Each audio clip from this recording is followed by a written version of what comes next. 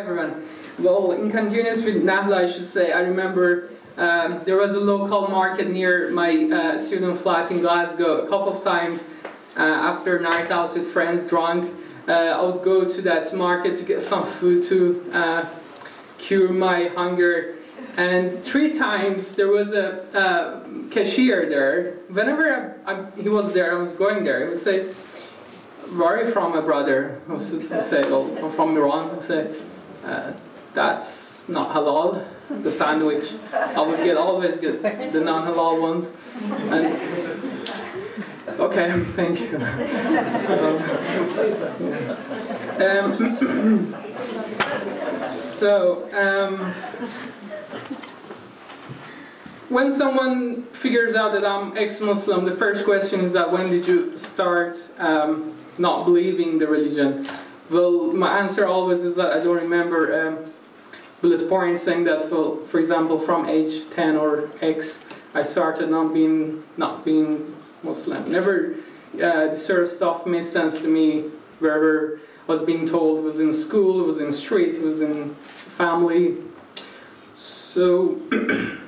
It's just all, in my view, nonsense, but it doesn't mean that Muslims are evil or whatever. I believe anybody should be respected, uh, no matter what they believe in or uh, what they say, um, till the point that they don't um, they don't uh, say something against others' views and ideologies.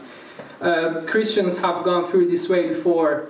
Uh, there used to be a lot of Christians getting um, hung or whatever executed for uh, being apostate. So it's not uh, Muslim or Islam issue, uh, but the things that I think Islam should go through this path, uh, and they should make that way and start um, tolerating apostates because simply we won't give up it's not, it's not, it's not on. Uh, I would talk, I would, I would like to talk about Raif Badawi, uh, the prisoner in Saudi Arabia who is simply in prison for uh, writing about liberal ideas, uh, for, uh, yeah, for heaven's sake or whatever. I don't want to be rude.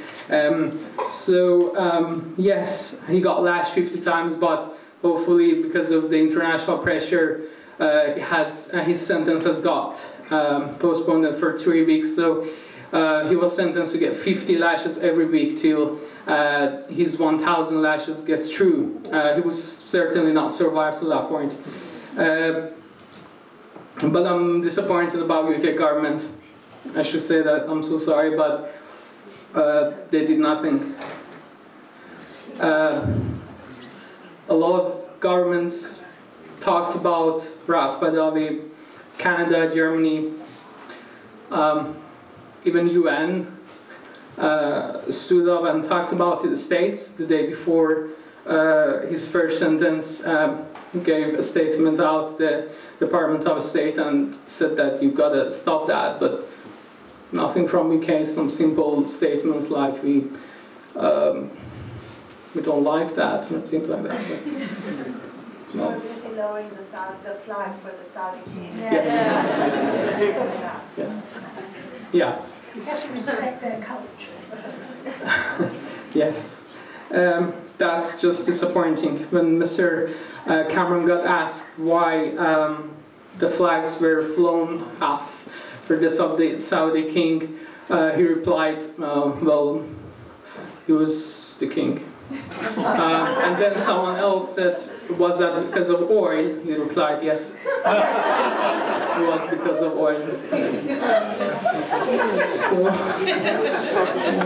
what a heavy mixture. But you all want to be able to switch your lights on and off. Yes, but uh, green energies exist and technology has got improved. And thankfully, um, we can uh, cut off from the um, oil and stuff. Um, so, um, yeah, Iran. Um, a lot of prisoners are in there just because of writing against not uh, you know like the way that we talk here, very very moderately talking against the regime and. Um,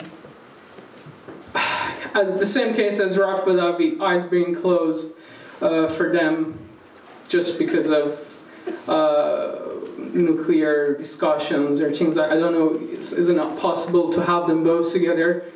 Uh, you should pause one and do the other. Um, the only way to support, uh, the only way to combat the extremism, the, to prevent things like Charlie Hebdo is to support the opposition uh, in, the, in the field. Um, we talking here uh, would be just helpful in sense that we support them verbally.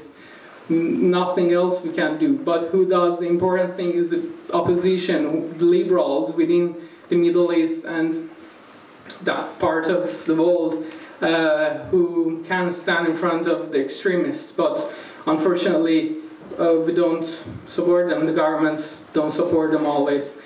As I said, Raif Badawi, he, he talked about liberalism simply. And uh, we say that we close our eyes simply up because of oil. Uh, so that's what happens with Charlie Hebdo and probably the sort of thing's going to happen in the future as well because we're not doing as much as we should. Um, United Nations passes resolutions against the human rights abuses in Iran, one after another. But how many governments do we see that uh, use them, support them? Um, you know, in practice, they may put out statements, but uh, in practice, we really don't see anything. Uh, if we could see anything, Iran was not in the situation that it is right now. Um, so yeah, I think that's me. But uh, yeah, we should. The, West should support opposition uh, in the in the Middle East to.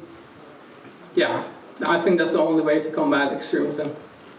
Yeah, thank you.